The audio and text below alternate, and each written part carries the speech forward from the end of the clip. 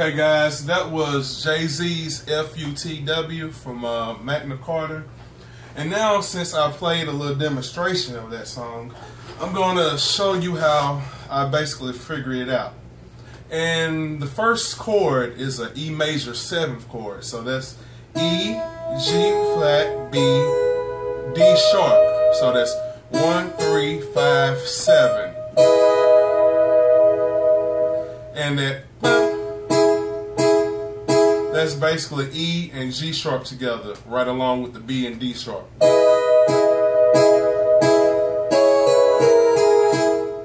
And that descending line is from D sharp, you're going to go down to a C sharp, B, A sharp, G.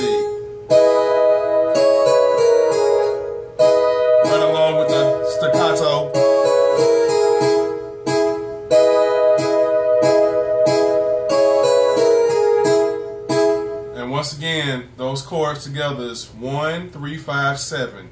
So it's an E major seventh chord.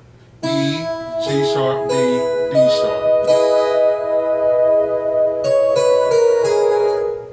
And if you wonder about the sound I'm using, I'm using like harpsichord and like some type of uh, piano voice string thing. It's some weird, some weird uh, sounding uh, uh, thing, but it works. I like it.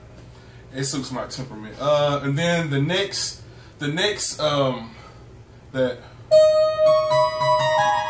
that's basically like an A flat minor, or you could say G sharp minor, just whatever which one you want to use.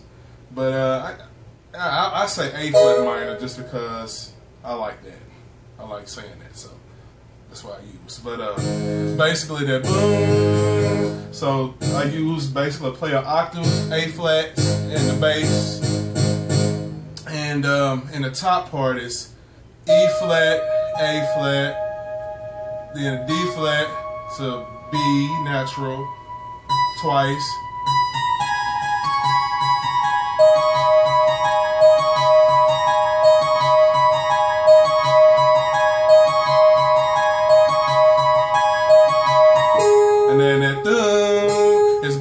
Like an octave down from A flat.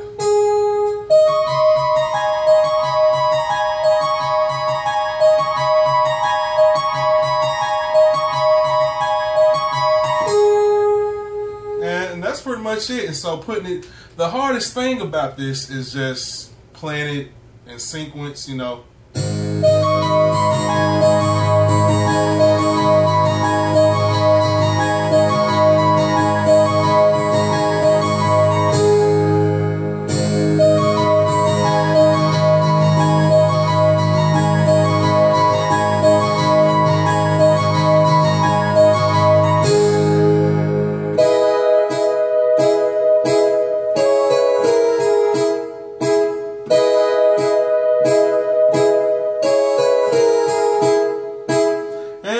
Pretty much the song right there. So um, hope you guys enjoyed the piano cover slash tutorial. And um, if you have any more questions, feel free to ask. All right, peace and one love.